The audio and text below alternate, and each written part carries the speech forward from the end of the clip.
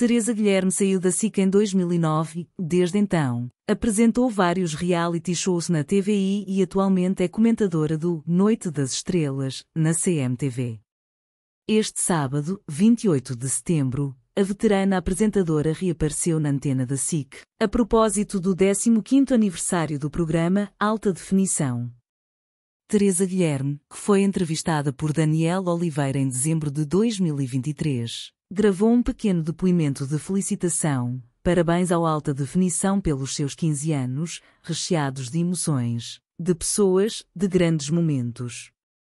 Passamos a ver aquelas pessoas de outra maneira e as pessoas também passaram a sentir de outra maneira. Parabéns ao Daniel Oliveira, parabéns ao Alta Definição. 15 anos é muito tempo. Um programa que já dura há 15 anos, que é sinal que é bem feito, que é um sucesso, essencialmente a coisa mais importante, que o público gosta muito. 15 anos é tempo, mas não é muito tempo para o alta definição. A sensação que eu tenho é que já existe há muito mais tempo do que isso. Espero que ainda façam outros tantos, porque todas as semanas ficamos a conhecer melhor uma pessoa, a entrevistada. Como eu também já fui entrevistada do Daniel Oliveira, acrescentou. Nós sentimos-nos a dizer coisas que nunca dissemos, sentimos que nos estão a fazer-nos perguntas que nunca nos fizeram, destacou. Eu gostei muito de ir ao Alta Definição, sou espectadora do Alta Definição, gosto de ver os outros abrirem a sua alma e gostei também de abrir a minha.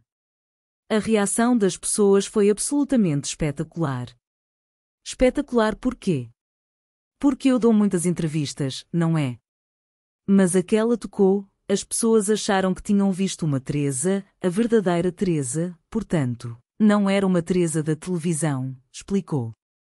Porque às vezes dá-se uma entrevista, as pessoas fazem entrevistas com muito boa vontade, mas é preciso ser muito habilidoso, muito inteligente e muito trabalhador para se conseguir chegar àquele produto final que é o alta definição. E o Daniel tem isso tudo. O programa é altamente emocional, é altamente emocionante, ou seja, as pessoas não se maçam. Não é um programa para chorar, não. É um programa para ficarmos a conhecer melhor quem dá a entrevista e que entrevista é uma conversa. Uma conversa séria sobre uma coisa séria que são os sentimentos e as emoções de todos nós, os conhecidos e os não conhecidos. Muito obrigada, muitos parabéns e muitos parabéns também à SIC, rematou Teresa Guilherme, de 69 anos.